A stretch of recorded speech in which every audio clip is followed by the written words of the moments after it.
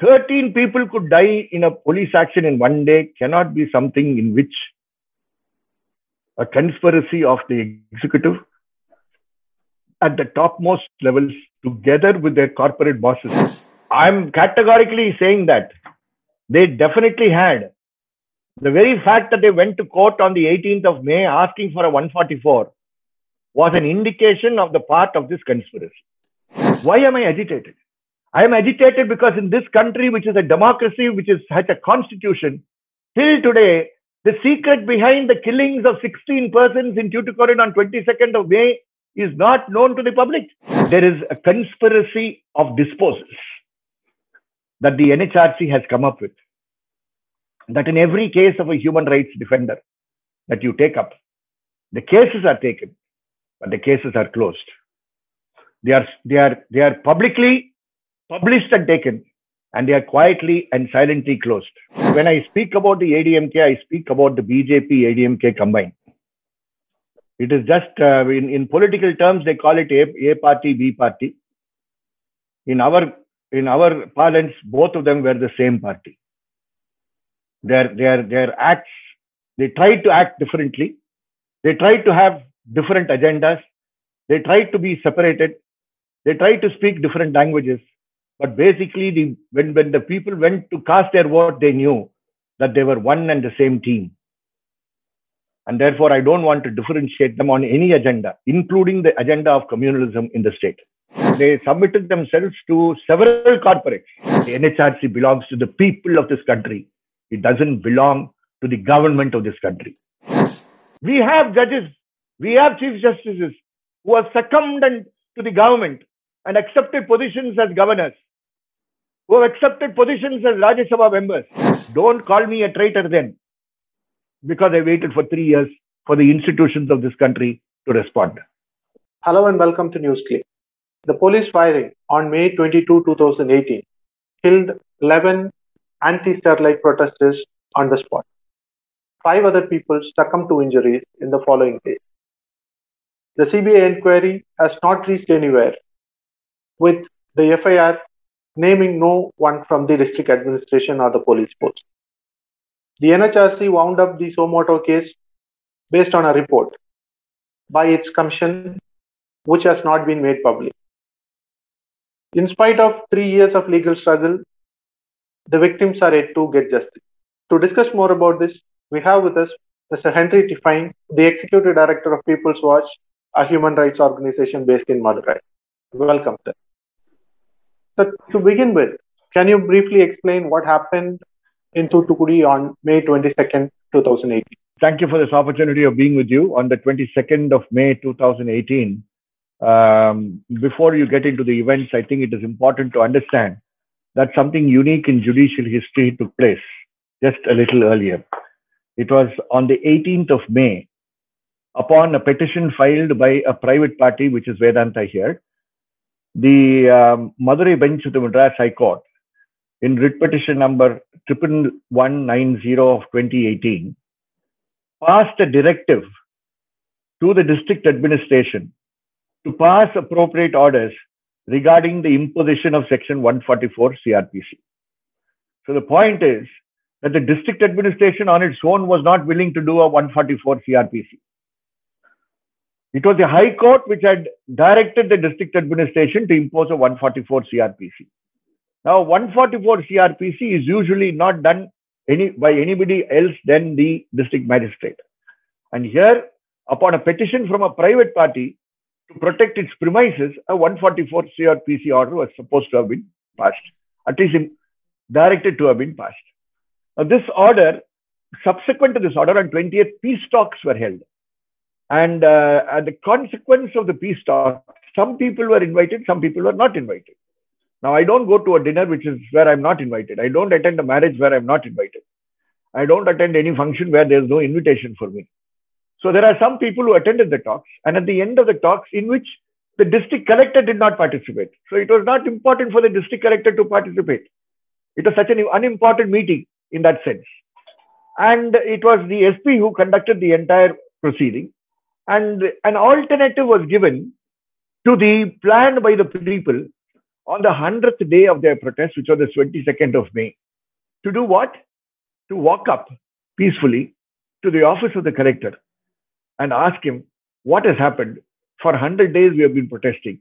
Today is the 100th day anniversary, and therefore we are before you, which every legitimate uh, citizen has a right to do.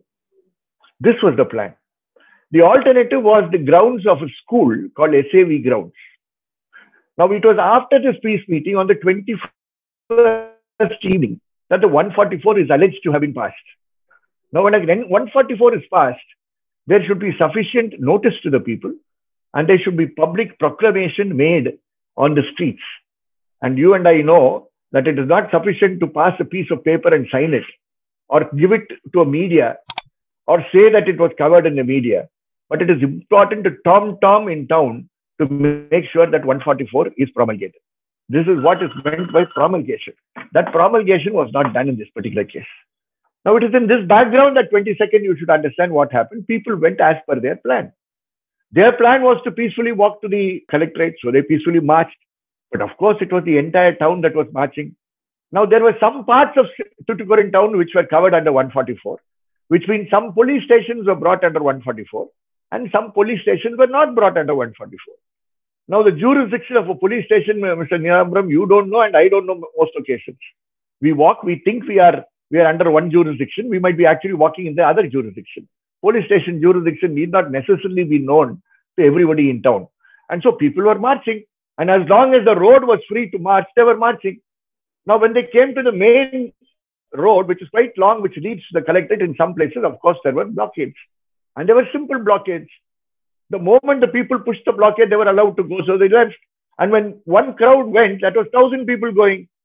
Here and there, when there was clashes with the police, they pushed the police and they went forward.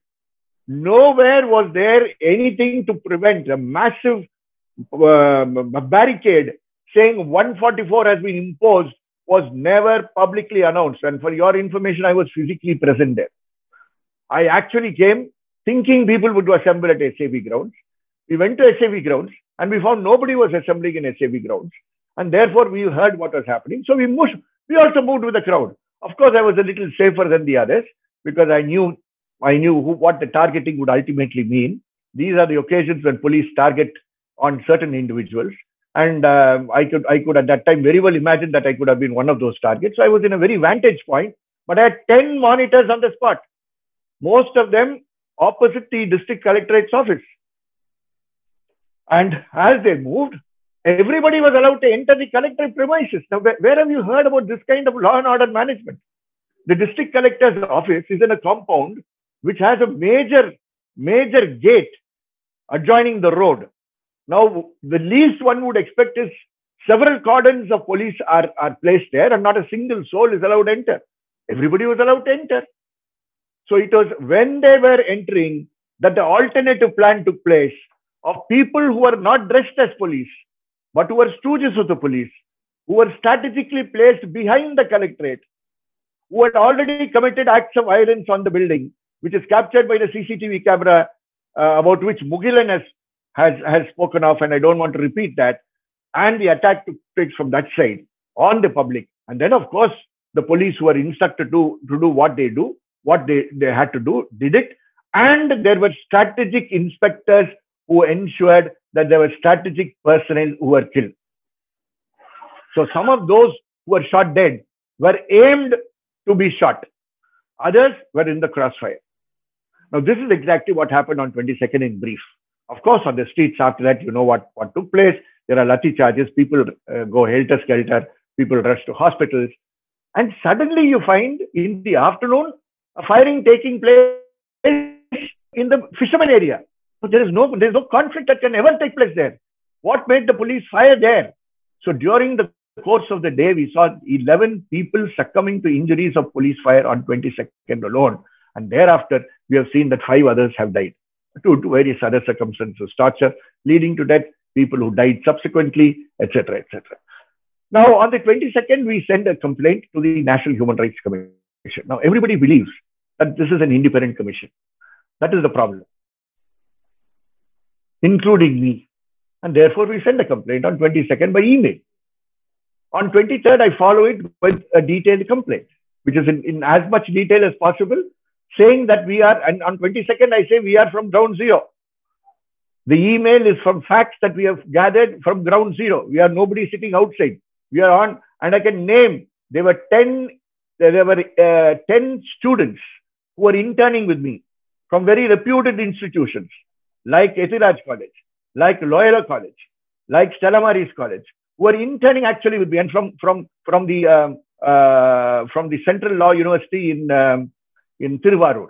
I had students of post graduation and they said, Sir, we want to come. I said, Come, but then there is a risk. Come, let's go. So my first protection was to see that the women students were saved. So after the, the incident was over, I moved them off. So we had ground zero information. With this information on 23rd, the complaint is also sent. The NHRC on its own takes the complaint on 23rd. Now, 23rd, when they take the complaint, just, just follow what I say. This is the order of the NHRC. The commission has noticed newspaper reports telecast on many TV channels from which it appears that the police resorted to firing on unarmed protesters. This is not me, this is their order. Without following the standard operating procedure. This is what the NHRC says, which tantamount to serious violation of human rights.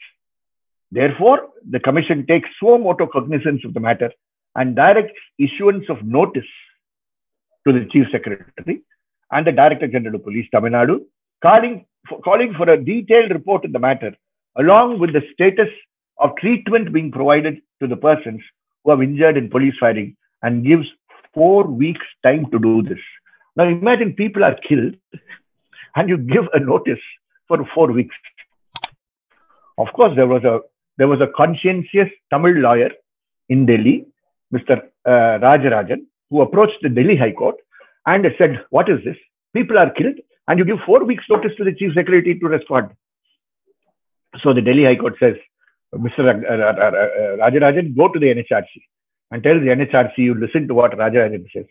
So upon the intervention of a Tamil lawyer in the Delhi High Court only, the NHRC revised its order on the 29th of May and directs its team of investigators to go to Tuticorin, which they did on the 1st of June.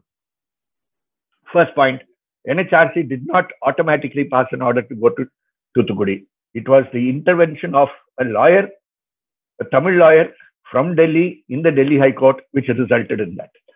Now, very interestingly, this uh, on the 31st of 30th of May, it is important to note that eight UN special rapporteurs, not one, eight. Within eight days of the incident, eight of the UN special rapporteurs on the UN Working Group on Human Rights and Transnational Corporations, the special rapporteur on implications of human rights of the environmentally sound management and disposal of hazardous substances and waste, the special rapporteur on extrajudicial summary and arbitrary executions, the special rapporteur on protection of the right to freedom of opinion and expression, the special rapporteur on the right to freedom of peaceful assembly and association, the special rapporteur on human rights and the environment, and the special rapporteur on safe drinking water and sanitation, together with the special rapporteur on human rights defenders, eight of them jointly issue a statement condemning what has taken place. 30th, the NHRC team has not yet reached. The statement has already come from the United Nations. The United Nations can be so smart. When the United Nations can have such authentic uh, information, why can't people on the ground in India have access to speedy information in a country which boasts itself of a digital India, being a digital India? Now, thereafter, these people give their comments. This uh, report, exceedingly fast, very competent. I saw the officers. I have no grounds against the officers. I know their integrity. And their integrity is a proven integrity. In various cases, they give the report on 28th of June. They were given four weeks. Chief Secretary is given four weeks to reply. Investigation team is also given four weeks to reply. So they give their reply on 28th of June.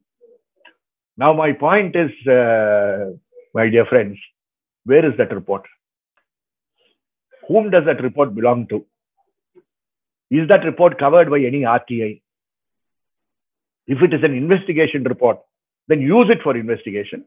If it is an investigation report, I can imagine it is confidential, but then use it for passing of orders and reveal portions of what you base your order on. If I call A to give a report and B to give a report, in the conclusion that I come, I will take parts of A, parts of B, and come to my conclusions. And I should say this part is taken from A, this part is taken from B. The A party gave its report on 28th of June, which is the investigation wing of the NHRC. The B party, which is the government of Tamil Nadu, in September, on 29th of September, the Home Secretary gives their report. If I if my if my dates are if my dates are still accurate, yeah, they give their report. And in that report, the Home Secretary, the Public Secretary, in fact, says the following things. One, government of Tamil Nadu has immediately rushed and provided compensation to those who died and those who were injured. True. But it's not compensation, it's ex gratia payment. A compensation cannot be paid by the government without orders for paying compensation by a body which investigates. It can be a National Human Rights Commission, it can be a court of law. Here it was an ex payment. Who gave that money? We don't know. My chief minister then, who did not know the cause of the debt, was immediately enough to give X number of crores to every family of the deceased. Fine. Number two, they say that we have appointed Aruna Jagadeeshan Commission. And once we have entrusted our, our responsibility with Aruna Jagadeeshan Commission, our job is over. So, number two, over. Number three, we have now come to know that the CBI is investigating the case. So, our CBCID is not doing it, CBI is doing it. Number four, normalcy has returned. Now, what normalcy? I don't know. The normalcy was such a normalcy that Ms. EPS could not enter Tuticorin for more than one year. That was the normalcy. People of Thoothukudi know it. People of Tamil Nadu know it. People in Delhi may not be aware of it. The two people who brought normalcy were nobody from the ruling party, nobody from the government. Those who brought normalcy were Mr. Gagandeep Singh Bedi, who is presently the Corporation Commissioner of Chennai, and Mr. Uh, Devidar.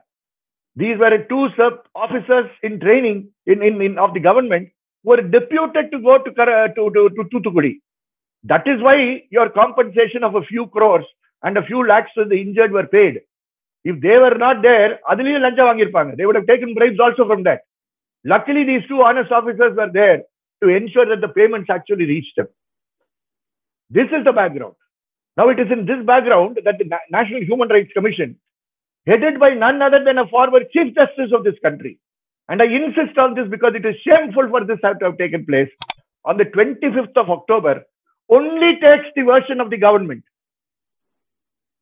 only relies on the version of the government, does not refer to its investigation team's visit, and then comes to a conclusion. And the conclusion is, I don't want to repeat, all what, all what I had said earlier has been stated. The commission considered this report and was of the opinion that adequate compensation has been paid. Where was compensation paid? Ex payments were paid. A former chief of the Supreme Court of this country trans, uh, uh, transforms an ex payment or, is unable to understand the difference between a compensation and an ex payment. I'm, I'm, I'm shocked. I'm shocked and I'm ashamed to say this in public.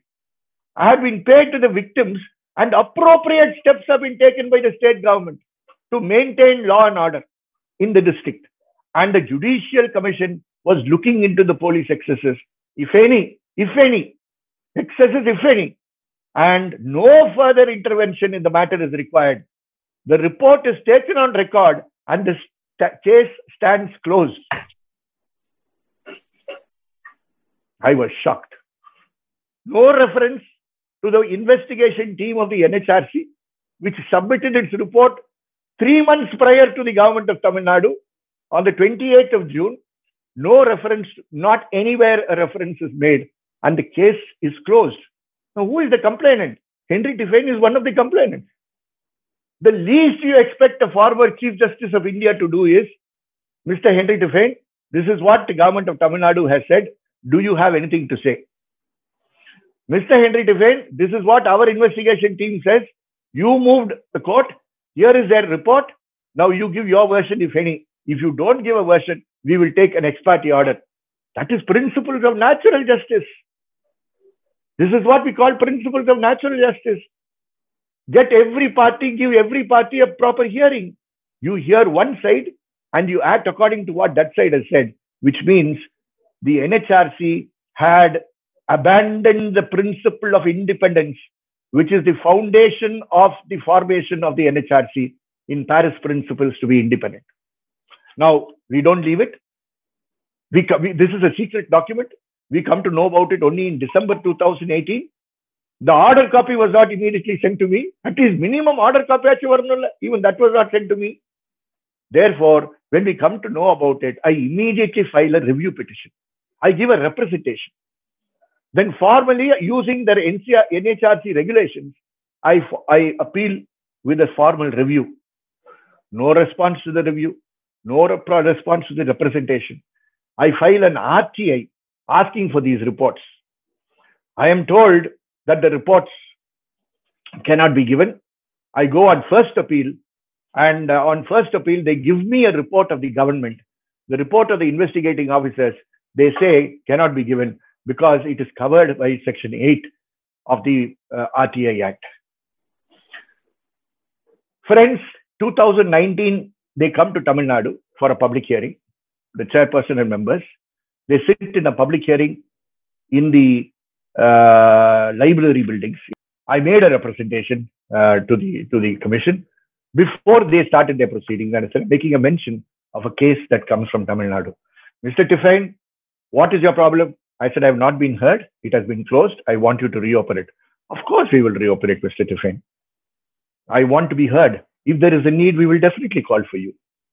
These were public utterances made in the presence of the Chief Secretary of Tamil Nadu, then Mr. Shanmugam, and the DGP Tamil Nadu, then Mr. J.K. Tripathi. I'm, I'm, I'm purposely mentioning because both of them were sitting there. The newspapers of that day covered it.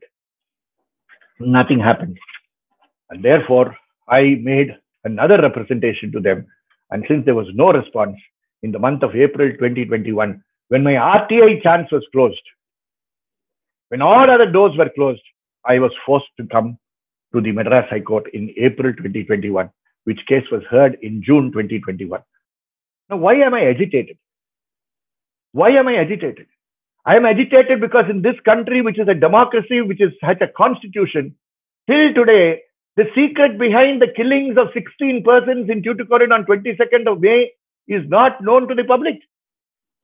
Aruna Jagadeeshan Commission of Inquiry was appointed three years ago, 1,200 or 300 days, and she has actually sat only for 111 days. This week she's sitting.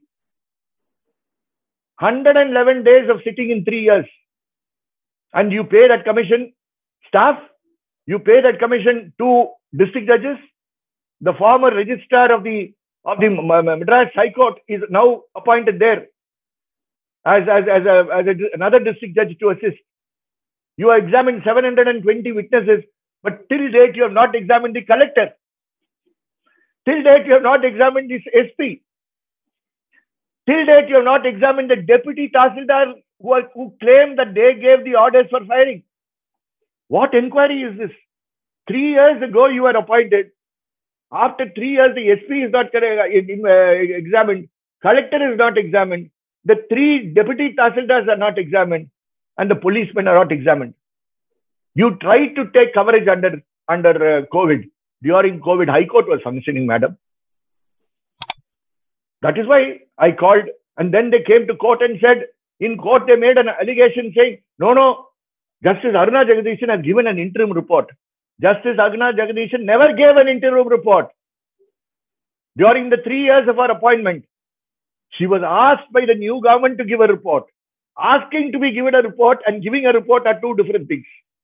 She was asked to give a report, and on the 15th of May, May 2021, she gave an interim report. That interim report only talks about a compensation to a few people, which is correct. But she does not talk anything about the use of force. How can she? She has not, she has not examined the district magistrate who delegated this power not to a Tahsildar, not to an RDO, not to a DRO, but to a deputy Tahsildar. See how, how well the, the, the, the delegation, how high the delegation of powers is. And they gave powers on the basis of which the firing is alleged to have taken place. I'm sorry, they are before the High Court. And now it is up to the Honorable High Court to, to, to break their silence. They have directed the NHRC to give their report in a sealed cover if it wants. Or, or they said they give it to you. If they don't give it to you, then we will we will tell them what they have to do. I hope I hope the institutions of justice uh, will still be effective. I really hope, and that is why I've gone to the High Court. And I've gone to the High Court, dear friends, not because of the Sterlite case alone, but there is a conspiracy of disposals that the NHRC has come up with. That in every case of a human rights defender that you take up, the cases are taken, but the cases are closed. They are, they are, they are publicly published and taken, and they are quietly and silently closed. And the same is the case with the now martyred Stan Swami, whose case also I took in 2018, in 2019, in 2020, and 21. Believe me, two months ago, I have given an appeal asking the same NHRC to depute a member led commission to the Taloja jail in Maharashtra, in Mumbai, to visit and see the condition of the Bhima Koregaon human rights defenders who are alleged to be suffering from several diseases. No visit. They don't have time for that. So it is very unfortunate that we are talking about my commission. This is not their commission. I have worked with this commission for 27 years. 27 years, Justice Venkatachaliah, the second chairperson, is still alive. His, his predecessor has died. His successors have died. But he is still alive. And he will tell you. He will speak. Justice Anand has died. I, I, I have not had good innings with anybody. But they will tell you that we have always meant, or always meant honesty. We have always upheld our credibility and we have always maintained standards and principles in our interventions with the NHRC. The NHRC belongs to the people of this country. It doesn't belong to the government of this country. It belongs to the people of this country. And as a citizen of this country, I have every right to continuously put pressure on this institution to look after the human rights, protect and promote the human rights and fundamental freedoms of every citizen of this country do you have anything to add on the role played by the then ADMK government and the BJP government in the center? How did they deal with this protest and how they acted on after the police firing happened? Well, uh, I've given my my my bit on the Aruna Jagadeeshan Commission. Um, I think this is as much as I can say publicly. Um, if she was an independent person, she would have sat for more than five days a week. And I leave it at that stage. I think people have a right to come to their own conclusions with all facts placed before them. Interference doesn't come by somebody calling somebody on the phone saying, do something. That said, CBI was given this investigation not by the government, but by an order of the Madras High Court. The Madurai bench of the Madras High Court, then headed by former Judge Justice Selvam, passed an order on the 14th of August 2018 directing that the CBI takes over the investigation from the CB, CBCID. Whether that was a right decision or a wrong decision is a different question altogether. Personally, I would have preferred that it would have been given to a special investigation team and the special investigation team comprised of officers from outside Tamil Nadu. And that special investigation team was asked to report to the High Court every month with the progress made. You give it to the CBI, nothing happens. In three years, we have two FIRs. In one FIR, a charge sheet against 72 citizens has been filed. The second FIR, which is supposed to be against the police, zero policemen have been named. Charge sheet is not filed. What do you expect us to do? If the CBI behaves this way, if the Commission of Inquiry behaves the way in which it has behaved, and the National Human Rights Commission behaves the way in which it has behaved, then it is about, and therefore I say it is about, in, it's now no longer in the lap of EPS and OPS, but is in the lap of MKS. MKS's duty today, Honorable MK Stalin's duty today, to take a decision to no longer play with this case, but to ensure that this case is either handled properly by Justice Aruna Jagadeeshan, not by appointing one more district judge, but by making sure that on every working day, witnesses are examined and that within a so and so period of time, the report is given. Otherwise, this government will also have to face the criticism that the earlier government faced. I'm sorry to say this. I'm a person who believes that this government is functioning in the right way. But then you cannot play hot and cold with policemen who are killed and post them in different places. All those who are responsible for the killings and were holding forth in Tuticorin are holding positions today. It is the families which are treated as accused. That is very sad. This is what happens to people who sacrifice their lives. Do you still have belief in the justice system? Because for all these you know, delays and all those stuff, you are again approaching the court seeking justice for the people who have lost their lives in the police fire. What is the alternative in this country? You give me an alternative. The other alternative is what you and I do not subscribe to, most probably, but which, which, which some people in this country believe. I do not call them traitors. I do not want to call them non patriotic people.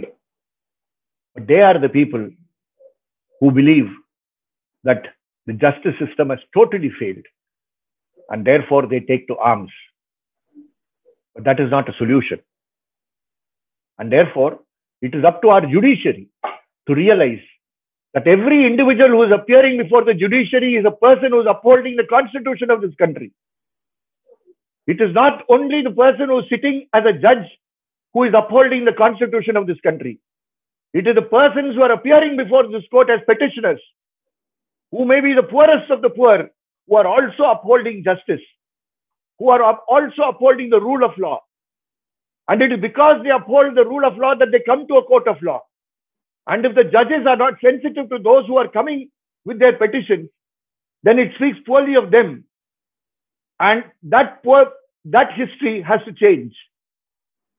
We have judges, we have chief justices who have succumbed to the government and accepted positions as governors, who have accepted positions as Rajya Sabha members, who have been judges in their own cases.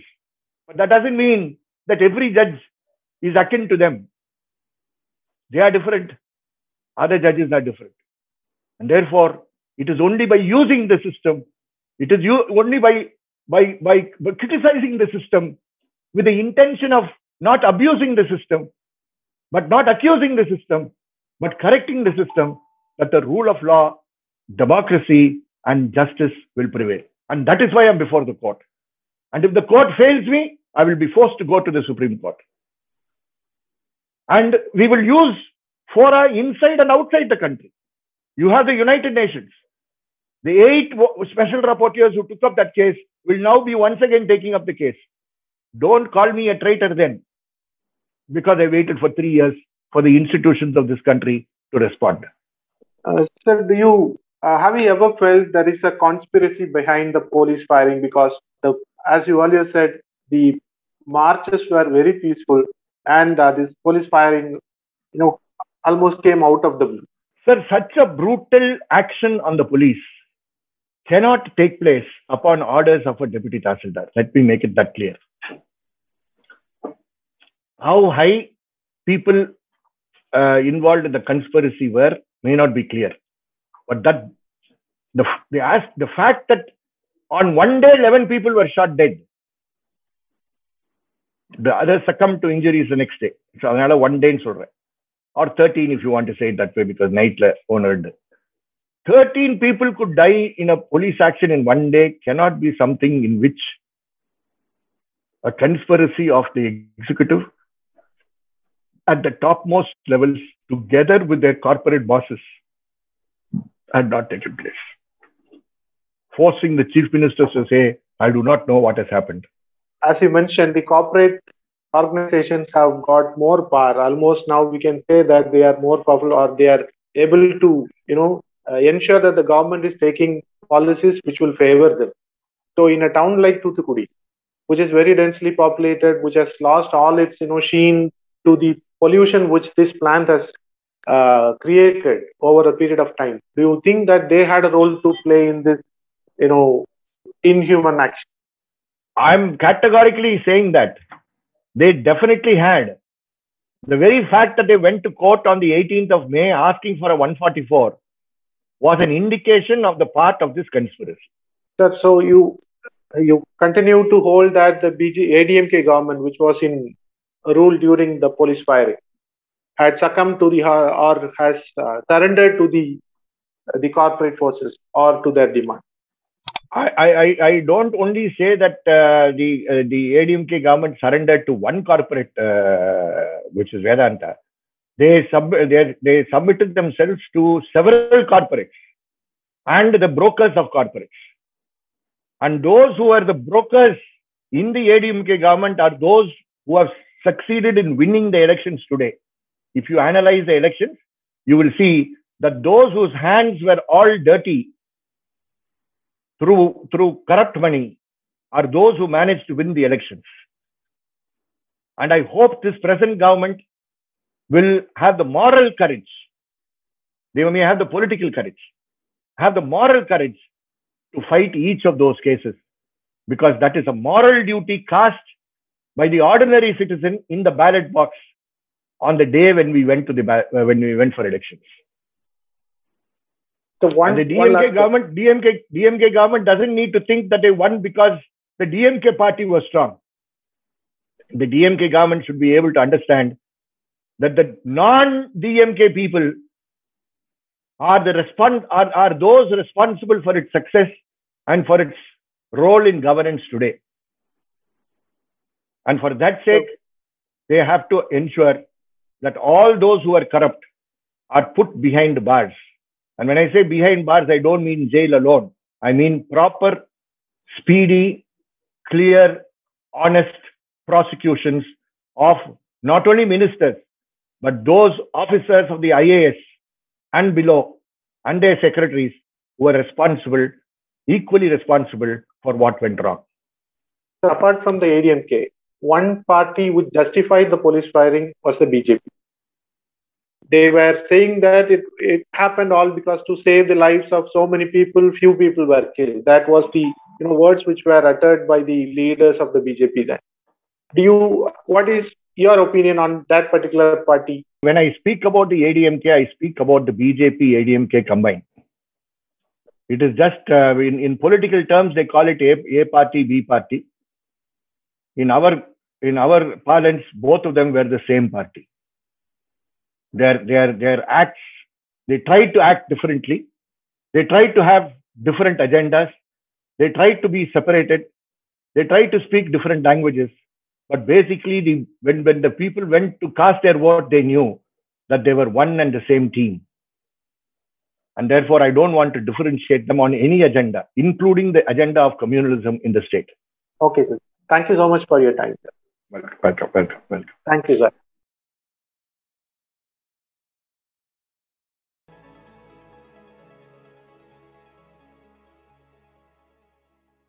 you